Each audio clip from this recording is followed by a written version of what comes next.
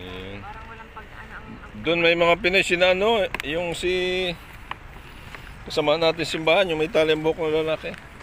Ayan, ayan, kain muna tayo, mamaya na marites. Nandito si Ate Presi, banding-banding sa park. Dito, siyempre, sa Ranila. Sino yung kasama natin sa church? Kain. Mamaya na kwentuhan yung kasama sa church. Ayan, dami ritong mga Pinoy, siyempre. Nagpapalipas, siyempre, nag-uumpisa ng summer. Ayan.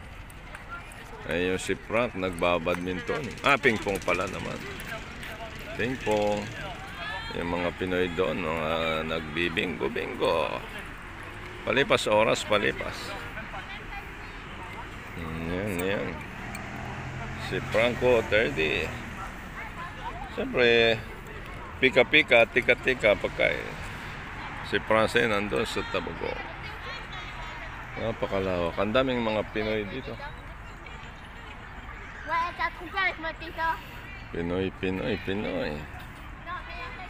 Mga lala. Franco, yan. Oh, ilayo mo kay Franco. Ibigay mo siya ng tiyapay. Gusto rin kumain si Franco eh. Franco, Franco. Ayusin mo nga yung, yung sombrero ni Franco.